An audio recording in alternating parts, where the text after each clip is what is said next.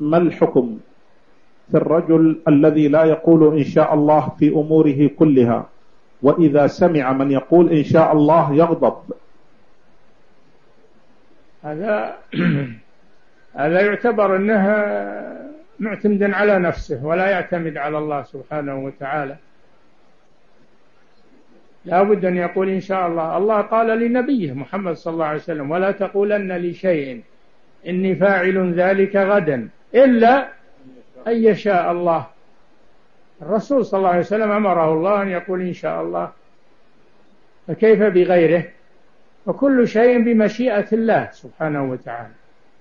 لا يكون في ملكه إلا ما يشاء ويريد سبحانه وتعالى.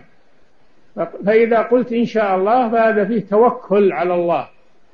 توكل على الله سبحانه وتعالى.